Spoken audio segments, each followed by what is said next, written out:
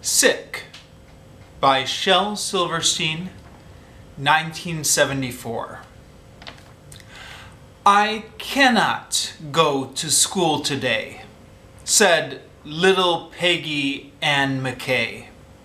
I have the measles and the mumps, a gash, a rash, and purple bumps. My mouth is wet my throat is dry. I'm going blind in my right eye.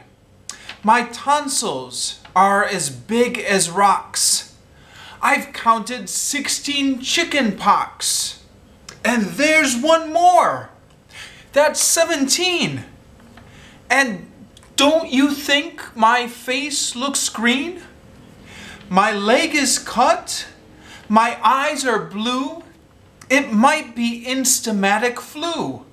I cough and sneeze and gasp and choke. I'm sure that my left leg is broke. My hip hurts when I move my chin.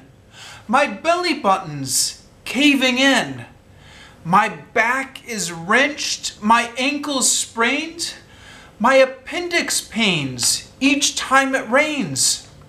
My nose is cold, my toes are numb. I have a sliver in my thumb. My neck is stiff, my spine is weak. I hardly whisper when I speak. My tongue is filling up my mouth. I think my hair is falling out. My elbows bent my spine ain't straight. My temperature is 108.